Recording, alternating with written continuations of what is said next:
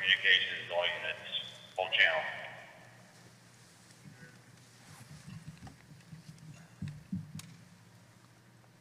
Webster Communications calling lead CPO Mike Hays. Webster Communications calling lead CPO Mike Hays.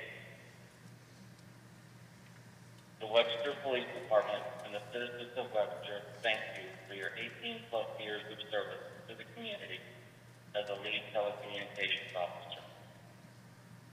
Nassau Bay EMS and the citizens of Nassau Bay thank you for your 15 plus years of service as a paramedic.